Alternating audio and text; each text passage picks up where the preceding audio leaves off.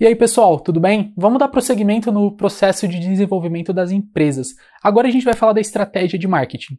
É, você tem que ter em mente de que tudo numa empresa, tudo tem um porquê. Desde as cores, das roupas que seus funcionários usam, tudo tem uma relação. É, você acha que o McDonald's utiliza a cor vermelho e amarelo é, por Coincidência? Não, tem um planejamento atrás disso, um planejamento atrás da psicologia das cores. Se você parar para pensar, o vermelho, né, é a cor do desejo, a cor da vontade, combinado com o amarelo, é, ainda dá mais desejo de você consumir o McDonald's.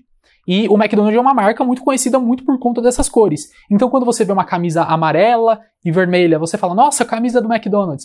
Então, você entende né, a, a, a importância do McDonald's, né, não só do McDonald's, mas das cores né, que eles eles utilizam para o consumo dos lanches. Então, é, todos esses mínimos detalhes fazem total diferença. Tanto que quando você for no McDonald's daqui de São Paulo, é, no Rio de Janeiro, em Florianópolis, são todas as mesmas cores, o mesmo design. Então isso influencia muito na decisão de compra do cliente. Estima-se que 75% das pessoas é, elas compram através das primeiras impressões.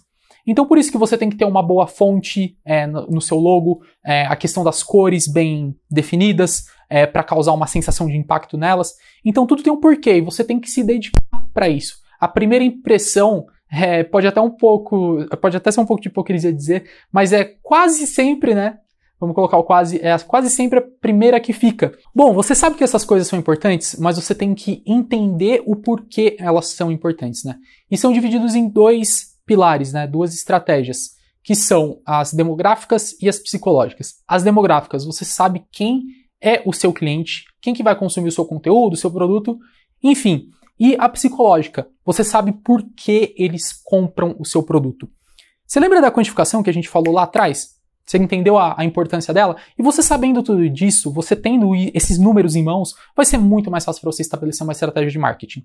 Então, lá no comecinho que eu tô falando, ó, oh, gente, vamos prestar atenção que é uma coisa correlacionada e tal. Às vezes fica meio sentido, meio confuso, complexo, mas você vê como não traz resultados e também pode favorecer muito para o seu negócio. Então, pessoal, a gente termina por aqui, né? É, essa aula de hoje. Tem mais uma, né? Mais uma estratégia. Te espero na próxima. Um abraço e até mais.